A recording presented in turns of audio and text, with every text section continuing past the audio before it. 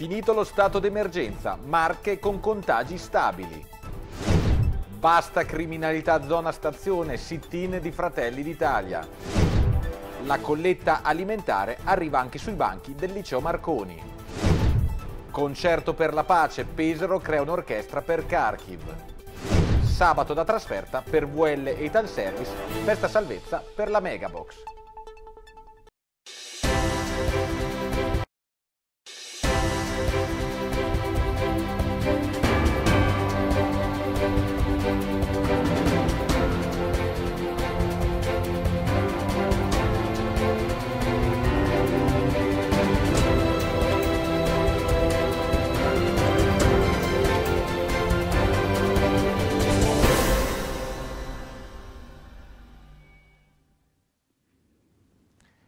Buona serata a tutti voi telespettatori e telespettatrici di Rossini TV, ben ritrovati a Rossini News, il nostro telegiornale del canale 80, l'ultimo notiziario di questa settimana, ma anche il primo del mese di aprile. Primo giorno, questo venerdì 1 aprile, che apre la fase di allentamento delle misure contenitive delle Covid-19.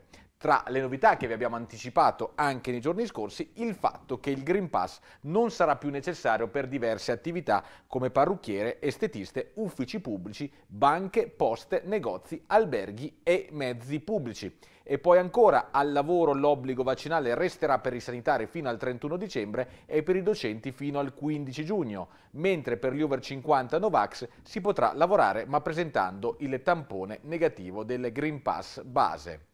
Intanto le Marche arrivano ad aprile con una incidenza di 1025 casi settimanali ogni 100.000 abitanti, un dato che si è costantemente abbassato per tutta la settimana che si conclude oggi. Per quello che riguarda i ricoveri, le terapie intensive contano attualmente 13 pazienti per un 5% di occupazione complessiva. Basta pericoli, basta criminalità nel cosiddetto triangolo dello spaccio fra Parco Miralfiore, stazione e monumento alla Resistenza. E questa la richiesta urlata a gran voce eh, da Fratelli d'Italia che ha manifestato ieri al sottopassaggio pedonale dei Cappuccini alla presenza tra gli altri anche della donna che proprio in quel luogo è stata rapinata domenica scorsa. Dopo due rapine in dieci giorni al sottopassaggio pedonale dei Cappuccini, il coordinamento pesarese di Fratelli d'Italia torna a manifestare sul luogo del misfatto per riaccendere i riflettori su quelle cosiddetto triangolo dello spaccio fra Parco Miralfiore, stazione e monumento alla Resistenza, in cui le problematiche di criminalità e sicurezza non riescono a trovare deterrenti adeguati. Al fianco dei manifestanti anche la donna che domenica si è vista strappare dal collo un ciondolo d'oro da una banda di ragazzini nordafricani. Eh, mi sono spaventata, mi sono spaventata molto. Eh, me, non mi era mai capitata una cosa del genere. Eh, ma poi sono stati, rapidi, sono stati rapidissimi. Eh, a parte il valore dell'oggetto, vabbè, pazienza, ma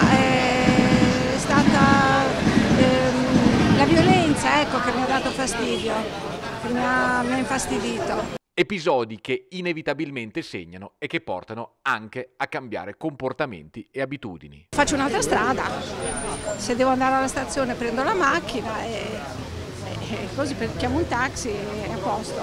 Ci ritroviamo un'altra volta qui, ci ritroviamo con le stesse persone, speravamo che prima o poi questa situazione venisse risolta, chiaramente capiamo la difficoltà di affrontare questi problemi, quindi sempre massimo sostegno comunque sia alle forze dell'ordine, all'impegno che ci mettono. Sappiamo la carenza cronica di, di, personale, però si deve necessariamente trovare una soluzione condivisa tra forze dell'ordine, amministrazione, amministrazione locale affinché questo posto torni ad essere un posto vivibile. Non è possibile che le persone abbiano paura di passare in questo sottopasso, di recarsi alla stazione o di mandare i propri figli a prendere, a prendere il treno o l'autobus come pendolari. Quindi è ora veramente di, di finirla e di trovare, di trovare, un sistema che possa riportare questo pezzo della città bellissimo che è un ingresso, è un ingresso della città che possa essere veramente riportato alla, alla gestione e al controllo da parte delle forze dell'ordine a favore di tutti i cittadini. Ci piacerebbe che venissero risolti i problemi di questa zona che ormai è noto a tutti come triangolo delinquenziale perché sappiamo Parco della Resistenza, stazione,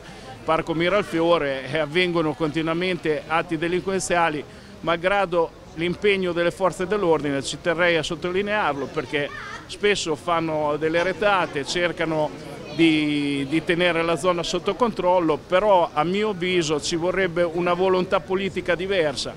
Tutte le promesse fatte da sindaco e da assessore competente di mettere in sicurezza la zona, sia anche con eh, delle opere che la rendano più fruibile e quindi più frequentata, mi sembra che siano state inattese fino adesso, perciò noi protestiamo anche contro questo fatto qui. Ed ora ci occupiamo di scuola con diverse iniziative che riguardano alcuni istituti superiori della città di Pesaro. La prima unisce Liceo Marconi e Banco Alimentare con una maxi raccolta di cibo in favore sia della popolazione ucraina che sta arrivando nel nostro territorio, sia anche delle altre persone bisognose e raccolta alimentare che nei giorni scorsi ha visto protagonisti proprio gli studenti del liceo pesarese. I numeri sono importanti perché in una scuola come eh, il liceo Marconi che vede 1900 studenti 150 ragazzi sono stati volontari, hanno coinvolto 72 classi, hanno coinvolto tutti i docenti in tutti i luoghi della scuola per raccogliere alimenti per le popolazioni ucraine e per i bisognosi del nostro territorio. Quindi abbiamo oggi raccolto 1200 kg di alimenti da destinare a queste persone. Quest'anno per la prima volta in una scuola superiore si è attivata questa questa iniziativa, vorremmo riproporla anche nel 2023.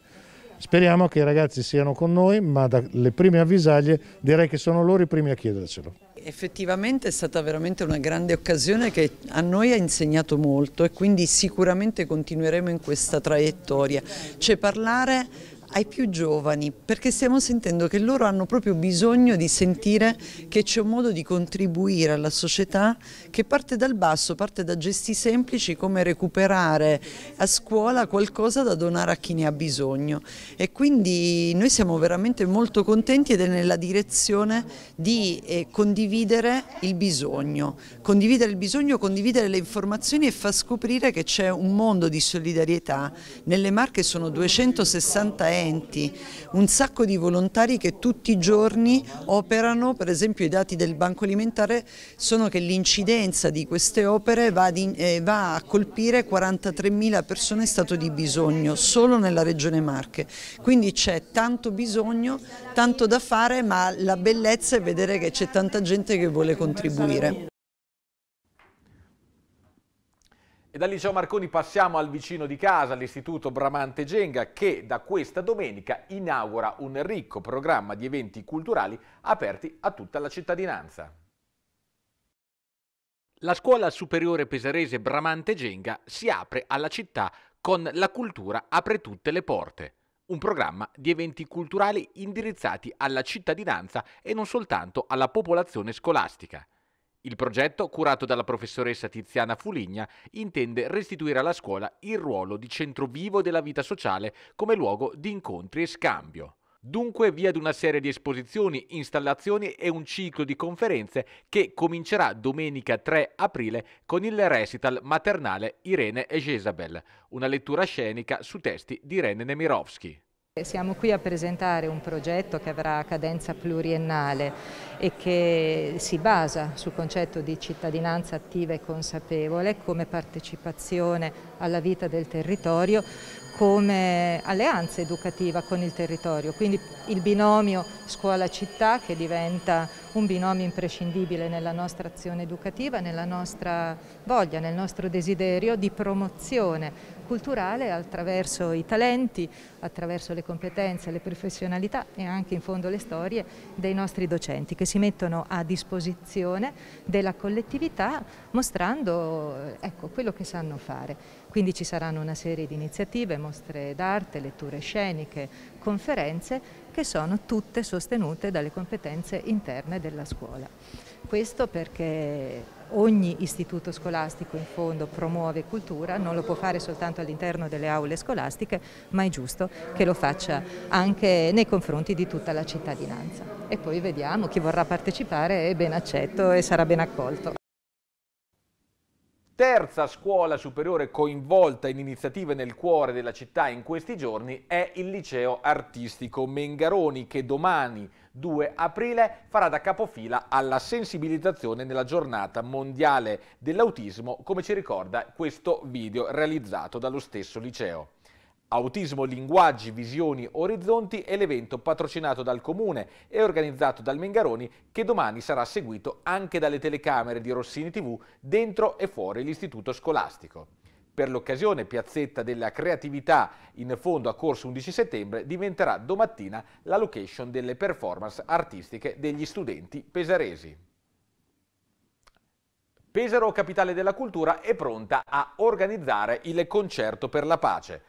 Protagonista sarà l'Orchestra Olimpia che il prossimo 27 aprile ospiterà in un concerto il direttore della Filarmonica di Kharkiv consegnandogli di fatto un'orchestra che gli è stata tolta dal terribile conflitto bellico in corso. Il concerto per la pace è dedicato all'Ucraina, al conflitto in corso e vede la presenza di Yuri Yanko che è il direttore e l'amministratore della Filarmonica di Kharkiv. Eh, Orchestra Olimpia ha raccolto un appello di un network internazionale di artisti che era a lui dedicato eh, poiché fuggendo da Kharkiv ha perso la casa, il lavoro e la sua orchestra. E per questo motivo lo accogliamo qui a Pesaro e gli diamo un'orchestra. Mm, l'appello consisteva proprio nel aiutare concretamente i musicisti dandogli quello che è il loro lavoro, dandogli la possibilità di continuare ad andare avanti. Questa è anche un'occasione per mettere insieme le studentesse eh, russe e ucraine del Conservatorio di Pesaro che eh, si uniranno all'Orchestra Olimpia e, mm, e, con questo mm, piccolo gesto noi vogliamo in qualche modo riconoscere la loro professionalità e lanciare un segno appunto di unione eh, per la pace. E tutto questo ovviamente sotto la direzione di, di un grande maestro che per la prima volta tra l'altro viene a Pesaro, quindi questo è un ulteriore, un ulteriore mm, motivo di, di, orgoglio per noi. L'appuntamento, eh, ripetiamo, è il 27 aprile alle 21 al Teatro Sperimentale, l'ingresso eh, sarà devoluto um, in, sotto forma di aiuti umanitari e sotto forma di borse di studio dedicate alle studentesse del Conservatorio di Pesaro che in questo momento si trovano in difficoltà economica, studentesse ucraine. Quindi è importante partecipare per dare il nostro contributo attraverso la musica per un sollievo materiale e reale. Tavuglia e Monte Calvo in Foglia chiedono ad ANAS di realizzare una circonvallazione tra i centri abitati di Riosalso e Borgo Massano. Le due frazioni sono infatti attraversate dalla strada statale gestita da ANAS che è caratterizzata da un intenso traffico di mezzi pesanti diretto verso le aree industriali della zona. Inoltre a breve è anche previsto un ampliamento produttivo con conseguente aumento dei volumi di traffico.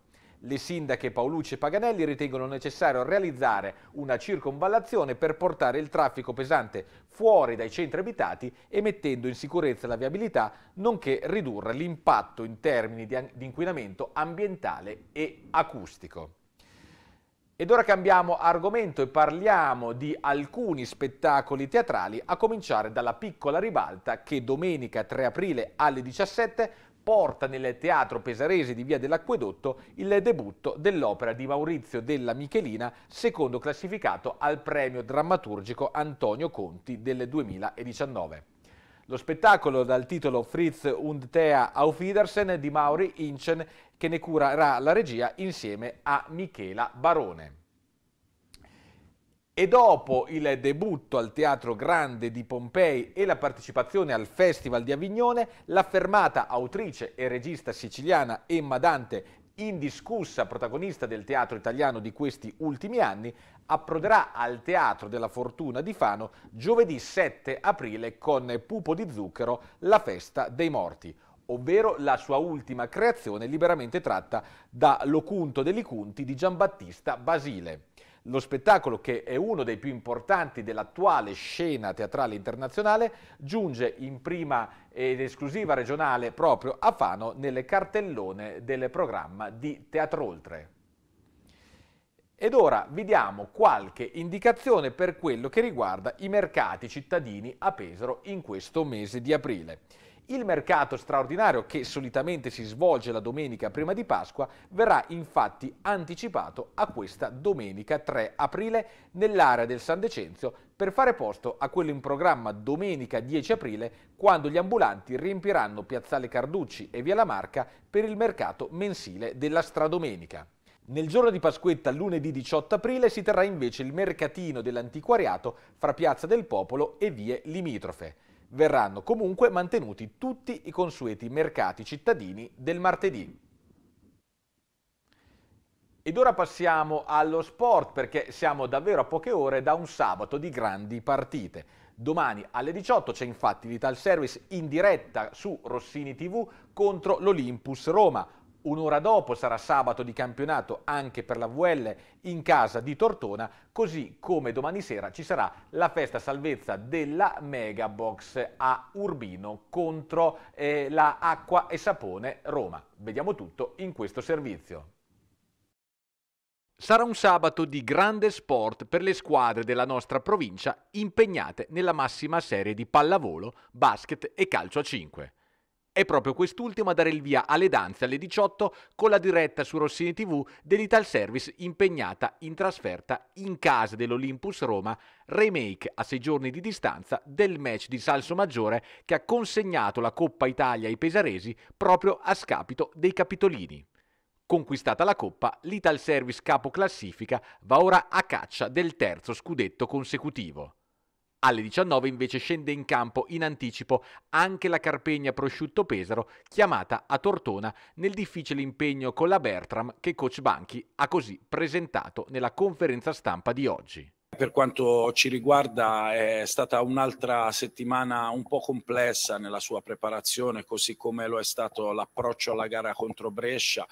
Eh, è un periodo nel quale non riusciamo ad allenarci con continuità, abbiamo un gruppo di giocatori un po' ridotto, eh, perdura l'assenza di Camarà, eh, ci sono stati piccoli acciacchi che hanno tenuto eh, soprattutto a inizio settimana qualche giocatore eh, eh, fuori dal, dall'allenamento e questo ci impedisce di arrivare a un numero legale per poterci allenare come vorremmo. Era successo prima della gara contro Brescia, è successo stavolta, però eh, dobbiamo assolutamente trovare delle risorse per prepararci bene a questa parte conclusiva di, di stagione. Dobbiamo oh, prepararci a una gara molto impegnativa. Eh, una squadra solida, lo ha già dimostrato in tante circostanze, lo ha dimostrato qui nella gara di andata, come detto è una, eh, è una neopromossa per modo di dire, una squadra che ha confermato sul campo la propria ambizione e in qualche modo questa gara arriva sulla scia di quella di Brescia e quindi due squadre che stanno attraversando un periodo analogo, no? quindi sono da considerare a tutti gli effetti due delle più belle realtà di questa stagione. A completare il sabato alle 20.30 al Pala Carneroli di Urbino scende in campo la Megabox Valle Foglia a tre giorni dalla splendida aritmetica salvezza ottenuta mercoledì a Roma. Proprio le capitoline dell'acqua e sapone saranno di nuovo avversarie a Urbino a caccia dei punti per la permanenza in Serie A. Quella massima serie che sarà ancora realtà per il 2022-2023 per la società del presidente Angeli. Finalmente è arrivato questo momento, l'abbiamo sognato dal primo giorno in cui abbiamo fatto la 1. Ricordo a tutti che tre anni fa facevamo la B1 e che quindi è stato un percorso per pazzi sognatori. E siamo stati premiati nonostante quest'anno sia successo di tutto, delle robe che non sono dipese dalla volontà di alcuno, ma che hanno avuto una casualità comunque tragica. Dal sabato alla domenica torna in campo la Vispesaro che alle 14.30 se la vedrà al Benelli con i toscani del Montevarchi. Vis chiamata a far punti per sedare l'emorragia di tre sconfitte consecutive e rimettersi in corsa per il rush finale playoff nelle quattro finali che restano. Domenica casalinga anche per la Pesaro Rugby che affronterà Noceto al Toti Patrignani. Ancora sport, in particolare motori, perché siamo anche nel weekend del primo appuntamento del campionato italiano velocità categoria Moto 3 che si svolge presso il circuito di Misano Adriatico. Protagonista indiscussa della prima giornata è stata la pioggia che ha tenuto compagnia ai piloti in tutti i turni delle prove libere. Per i piloti del nuovo team MR Racing, di cui Rossini TV è sponsor tecnico e che vi abbiamo mostrato anche nei giorni scorsi attraverso servizi e uno speciale, è partita la stagione di Matteo Morri e Giampaolo Di Vittori che hanno avuto l'occasione per togliersi un po' di ruggine invernale e riprendere confidenza con la pista e con la nuova moto. Per il team è stata un'importante giornata di raccolta di informazioni per poter settare al meglio la moto anche in vista di un probabile weekend di gare bagnate. Sia Matteo sia Giampaolo si sono detti soddisfatti delle buone sensazioni che hanno provato alla guida e sono fiduciosi per gli appuntamenti con le prime gare. E con Sport e Motori si conclude qui questa nostra edizione del telegiornale Rossini News. Prima di salutarci vi ricordiamo qualche appuntamento, a cominciare dall'informazione del Valle Foglia Magazine che vi terrà compagnia subito dopo il TG per chi ci segue nella prima edizione, telegiornale di questo territorio condotto da Edoardo Razzi che va in onda alle 20 come ogni venerdì e con prima replica alle 23.15. La nostra prima serata invece alle 21.20 sarà dedicata alla conferenza sul turismo al Teatro Raffaello eh, Sanzio di Urbino. Si parlerà appunto di sviluppo turistico in questa importante occasione di confronto fra comune, regione e Confcommercio. E poi vi ricordiamo anche l'appuntamento fisso con la rassegna stampa del sabato. Buongiorno Rossini, che domani in diretta alle 7.20 sarà condotta dalla nostra Emanuela Rossi. Altra diretta è quella con lo sport di domani, sabato 2 aprile alle 18, partita dell'Ital Service che eh, vi trasmetteremo come sempre per quello che riguarda i match della squadra pesarese in trasferta. La partita in questione sarà Olympus Roma Ital Service Pesaro, remake della ultima finale di Coppa Italia. Appuntamento dunque domani alle 18. Altra diretta è quella con le sante messe della domenica mattina. Come sempre le nostre telecamere si accenderanno alle 11.15, questa volta dalla parrocchia di San Pietro in Calibano a Villa Fastiggi. E dunque tanti appuntamenti che vi terranno compagnia questo weekend su Rossini TV. Si conclude qui invece questa nostra edizione del telegiornale. Ora ci sono le previsioni del tempo e a me non resta altro che augurarvi una buona serata e un buon fine settimana in compagnia dei programmi di Rossini TV.